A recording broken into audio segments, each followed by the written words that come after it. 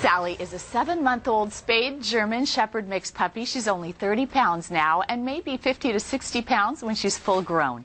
She was rescued two months ago from Baja, Mexico, where she was chained up in a backyard with no food or water in sight.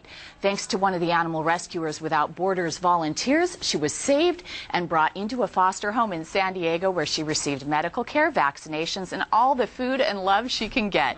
Now that she's healthy and happy, she's ready to find a loving forever home with people who will treat her like family. She's great with cats, dogs, and children. She's very smart and loves playing for hours with her dog friends. Then she'll settle down and sleep for hours. It's typical puppy, to the typical happy puppy, I should say. She's sweet and loves to cuddle. She's not a barker, but like any great shepherd, she'll alert you if something's going on around the house. She's crate trained, mostly housebroken, and loves car rides. She'll benefit from puppy training classes and will need a home with a yard hard to meet her energy needs. She walks well on a leash and would love a home with other dogs. Please call Animal Rescuers Without Borders to find out about their upcoming adoption event where you can meet Sally or learn about volunteer opportunities. We'll be right back.